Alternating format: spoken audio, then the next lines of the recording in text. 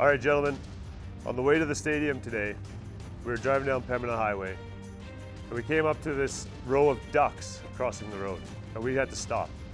Cars on both sides of the road were stopped for these ducks crossing the street. There's one big one and about six little ones following behind.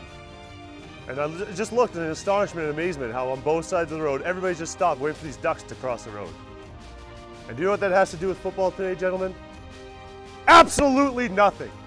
Absolutely nothing. The only thing that matters is the next 60 minutes when we step on that football field. And all I want from you in those next 60 minutes is to win. And to win, you only have to do one thing. You have to give me everything you got. Every ounce of strength, every ounce of toughness, every ounce of courage. I need it all today when we step on that field.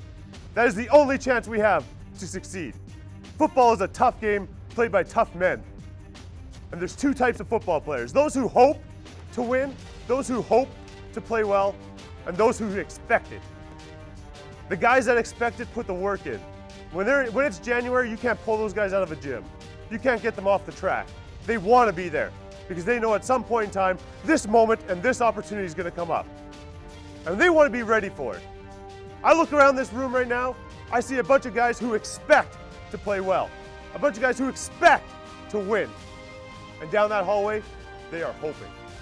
Each and every one of those guys down there is hoping to win. We are ready today, gentlemen. We are expecting to win. Expect victory. Believe in yourselves. Believe in the man next to you. And let's get on that field and expect to take victory when 60 minutes is done.